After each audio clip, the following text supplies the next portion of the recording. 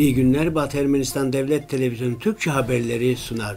Batı Ermenistan'ın bağımsızlığının 100. yılı ve tarihsel gerçek. Cavak'tan açıklama Ermenistan Cumhuriyeti Cumhurbaşkanı Armen Sarkisyan Davos Forumu'nun yıllık toplantısına katılacak. Berlin zirvesi katılımcıları Libya hakkında ortak açıklamada bulundu. Suriye'de durum. Greco-Romen'de Artur Aleksanyan finalde Azerbaycanlı sporcuyu yenerek altın madalyanın sahibi oldu. Batı Ermenistan. Dikkat! Bu makalenin barış konferansına katılarak Müttefikler Yüksek Kurulu ve onun yandaşlarınca tanınan ve 15 Mayıs 1919'da Boğaz Nubar Paşa tarafından zaten oluşturulan Birleşik Ermeni Hükümeti'ni 19 Ocak 1920'de Osmanlı İmparatorluğu'nun o zamana kadar kendi topraklarında bulunan Batı Ermenistan'ın bağımsızlığını tanıdığını sizlere hatırlattığını bildirmek isteriz. Yerevan hükümetinin Türkiye ile 4 Haziran 1918 tarihinde Batum ve 2 Aralık 1920 tarihinde Aleksandropol anlaşmalarını imzalamış olmasına rağmen Sevr Antlaşması üzerinde bir etkisi bulunmamaktadır. Çünkü Yerevan hükümetinin Sevr Antlaşması'yla doğrudan bir ilgisinin bulunmadığını hatırlatmak isteriz. Batı Ermenistan ve hükümeti Batı Ermenistan'ın Türkiye tarafından bugüne kadar işgal altında bulunmasına rağmen ne bir devlet ne de yerli otokton bir millet olarak haklarından hiçbir zaman asla vazgeçmedi. 15 Mayıs 1919'da Osmanlı Türkiye'sindeki Ermenilerin temsilcilerinden ve Kafkasya, İran, Mezopotamya, Suriye, Mısır, Avrupa ile Amerika Birleşik Devletleri'nden gelen mültecilerden oluşan heyetlerin Paris'teki Montani Caddesi'nde birkaç hafta boyunca Ermeni Ulusal Konferansı'nı gerçekleştirdiklerini ayrıca hatırlatalım. Ermeni Ulusal Delegasyonu tarafından toplanan bu konferans çalışmalarını uzattı ve Ermenilerin talepleri üzerine genel bir anlaşma hazırladığında Ermenilerin uğradığı zararı değerlendirdi ve gelecekteki Ermeni devleti için siyasi bir tüzük geliştirmek için bir komisyon oluşturduğunda sona erdi. Kurul tarafından seçilen yeni ulusal delegasyon Boğosnubar Paşa, Profesör Derhagopyan, Doktorlar Nevruz ve Pastırmacıyan ile Vahan Tekeyan'dan oluşuyordu. Bu delegasyon Aharonyan, Ohancanyan ve Babacanyan'dan oluşan Ermenistan Cumhuriyeti temsilcileriyle birlikte çalışacaktı. Sloganı ise tarihsel sınırlar içinde özgür ve bağımsız bölünmez Ermenistan olacaktı bölünmez Ermenistan heyetini kuracaktı. Ermeni Ulusal Konferansı aşağıdaki şu bildiriyle sona erdi. Adalet adına, bizim yasamız adına Rusya ve Türkiye'nin iki Ermeni cemaatinin dayanılmaz özlemleri adına er ya da geç hüküm sürmesi gereken kaçınılmaz tarihsel gerçeklik uğruna aynı ulusun bu iki bölümünün nihai ve mutlak yeniden birleşmesini talep ediyoruz.'' Böylece Birleşik bir hükümetin kurulmasına dayanarak Ermeni Ulusal Meclisi tarafından seçilen ilk Cumhurbaşkanı Boğaz Nubar başkanlığındaki Ermeni Ulusal Delegasyonu'nun faaliyetleri sona erdi. Aynı zamanda Ermenilerin Kilikya'ya geri dönmesi her yönden devam etti.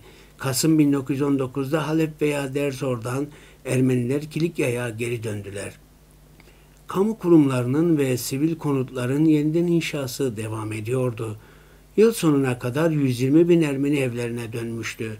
Kilikya küllerinden dirildi ancak karanlıkta Maraş katliamları hazırlıkları ve Fransa tarafından Kilikya'nın terk edilmesi tasarlanıyordu. 15 Mayıs 1919'da gerçekleşen Ermeni Ulusal Konferansı tarafından kabul edilen kararlar 19 Ocak 1920'de Müttefikler Yüksek Konseyi tarafından Ermeni Devleti'nin bağımsızlığının fiilen tanınmasıyla sonuçlanmıştır. Bugün Batı Ermenistan'ın resmi bağımsızlık günü aşağıdaki şekilde ifade edilmektedir.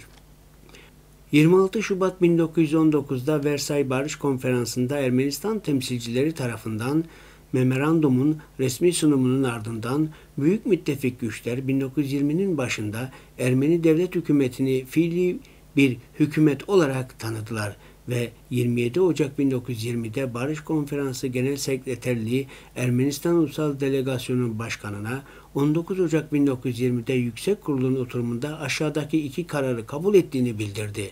1. Ermeni Devleti'nin hükümetinin Yüksek Konsey tarafından fiilen tanınıyor olması. 2. Bu tanıma bu devletin olası sınırları sorununu önceden belirleyemez. Genel Sekreterlik Amerika Birleşik Devletleri Büyükelçisi'nin 26 Ocak'ta Amerika Birleşik Devletleri hükümetinin bu kararı desteklediği bilgisini eklemektedir. Buna ek olarak 28 Ocak 1920'de Genel Sekreterlik Ermeni Delegasyonu Başkanı'na Fransa, İngiltere ve İtalya hükümet başkanlarının benzer bir karar aldıklarını bildirdi. 7 Mart 1920'de bir başka mesajda Ermeni tarafına Japon hükümetinin Büyük Britanya, Fransa ve İtalya hükümetlerinin Ermeni devletinin fiili hükümetini tanıma yaklaşımına katılması hakkında Japon Büyükelçisi'nin ifadesini bildirdi.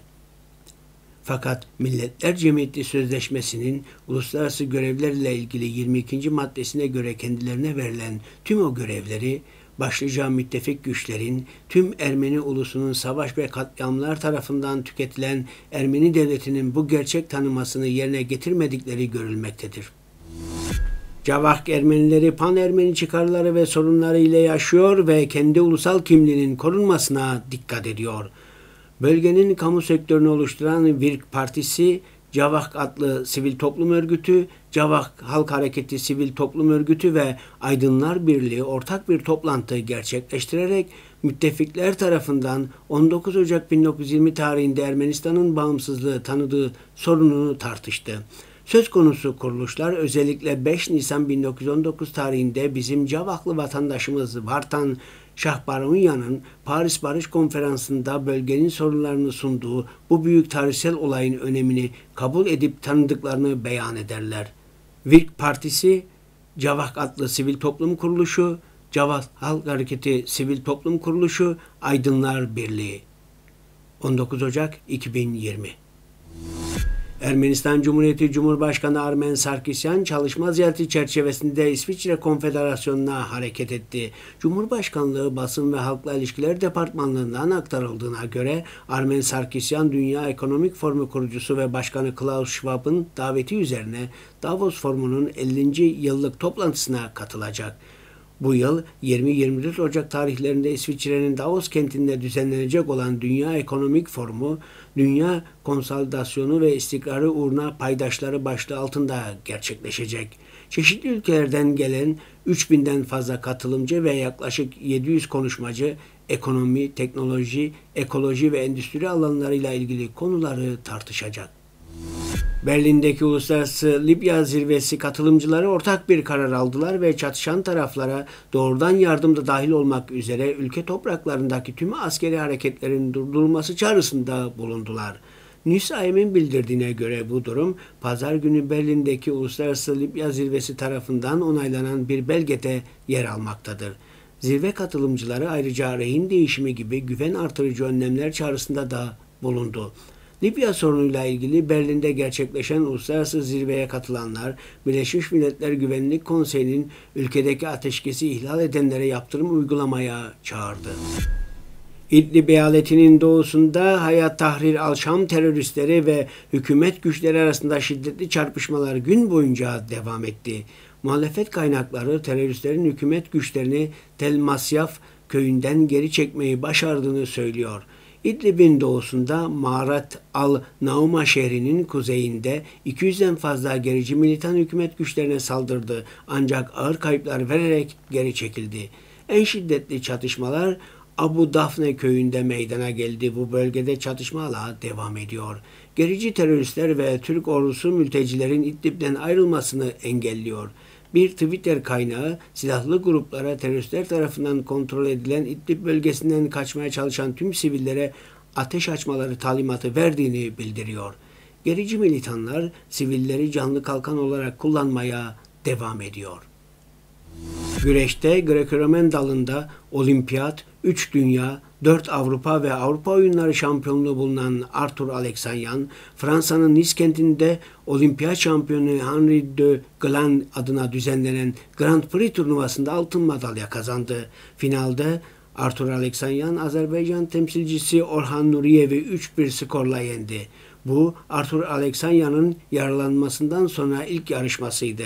Olimpiyat şampiyonu Aleksanyan Kazakistan'daki dünya şampiyonasında kaburga yaralanması nedeniyle finalden vazgeçtiğini hatırlatalım.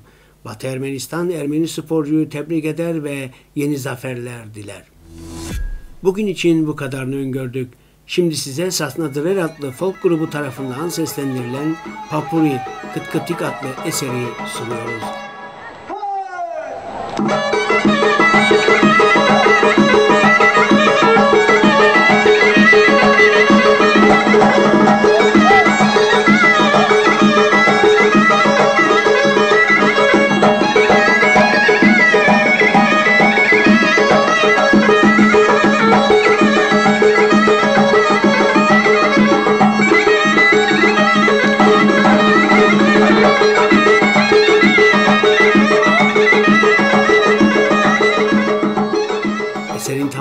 Batı Ermenistan Devlet Televizyonu'nun resmi sitesinden izleyebilirsiniz. Hoşçakalın.